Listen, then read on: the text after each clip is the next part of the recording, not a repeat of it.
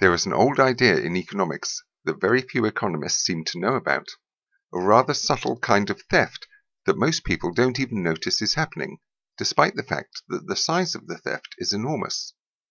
The poorest half of the population end up paying perhaps 10 or 20% of their income to rich people their entire lives for no good reason whatsoever. This video will explain the scam. The scam involves our crazy housing market. But before we proceed, we must clarify one thing about housing. The general public casually refer to the cost of buying a house as if the land were free and what we were paying for was the cost of bricks and mortar. This view is, however, mistaken. Consider the advertised price of a house located in the remote countryside, and then compare that to an identical house in the middle of a major city like London. The difference could be as much as fivefold. And so it is with rent. If you rent a house or flat in a big city, then really your bill can be considered like this. The biggest part of the cost will be renting the land, and it's this component that is the basis of the scam. The next part of this explanation requires us to consider a little thought experiment. Imagine that in the distant past a large ship ran into rocks off a desert island and started sinking.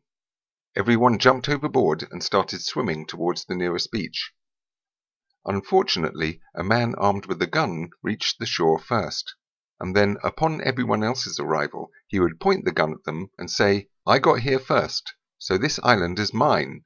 You can't live here unless you pay me rent for using my land. The swimmers have no choice and have to give the landowner part of their income for evermore. When I say income, that might be in terms of fish or coconuts or whatever it is they collect. This situation is obviously unjust. If you were one of the people having to pay rent, you'd no doubt be angry. You'd probably protest.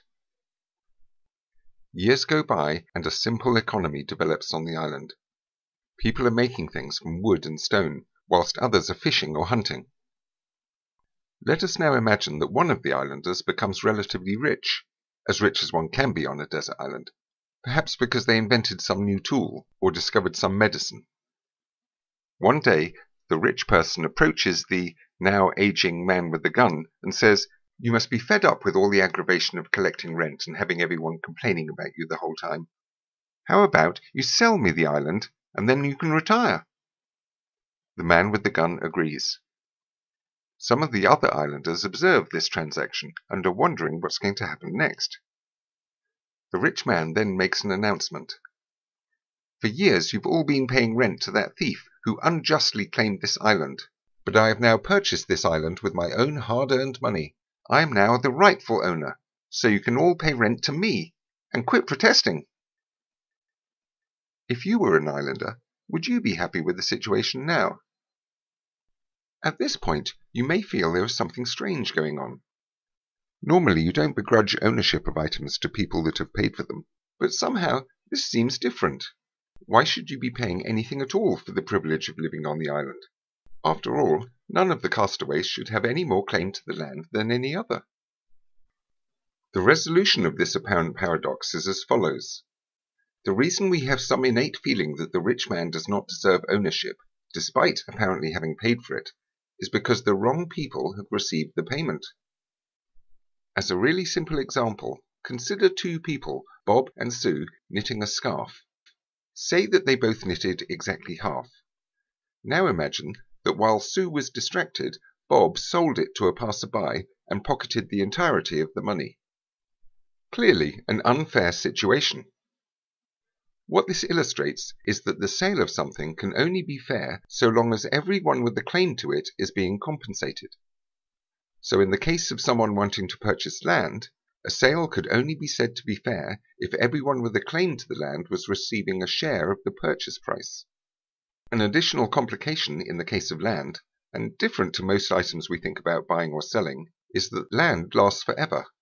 This means that people that could rightfully make a claim to live on the land include future generations. Let us continue the thought experiment. More years go by and the rich man dies, leaving the land to be divided equally between his children. Some of the children sell parts of their land to other islanders, and so on. After a few more generations, the land gradually becomes owned by more and more people. Say that we end up in a state where 10% of the islanders own land, whilst the other 90% are tenants. How is the situation now? Should society forgive and forget the actions of the evil man with the gun? Has the crime become so diluted and distant that there is scarcely any injustice remaining? The most common reaction you get from telling this tale is that it was all so long ago that you should just forget about it. Well, consider this for a moment. What if years ago someone made a claim to own the air around us, and insisted on everyone else paying for the privilege of breathing the air? Say that air ownership licenses got passed down or sold through the generations, and now 10% of the population could charge the other 90% for the privilege of breathing that air. Would you say let bygones be bygones, and we should all just carry on paying the money? What's the difference? People need land to live on just as much as they need air to breathe. Consider the prospects for a newborn child of parents that don't own any land. Unless that child becomes rich enough to become a landowner itself, they will have to pay a significant fraction of their income to other landowning islanders for their entire lives. It's as if the crime was still continuing. Time and dilution of ownership do not fix the injustice. Instead, a kind of apartheid is created, with non-landowning citizens having to supply a continuous stream of money to landowning ones in perpetuity.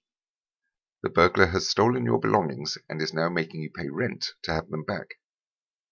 This is essentially the world we live in today. In the real world, how do you think anyone got to own land in the first place? If you go back far enough, nobody owned any land. There was nobody to buy land from.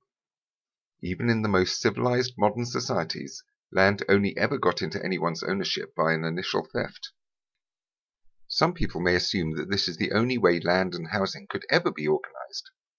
But in the next video we will see it doesn't have to be this way.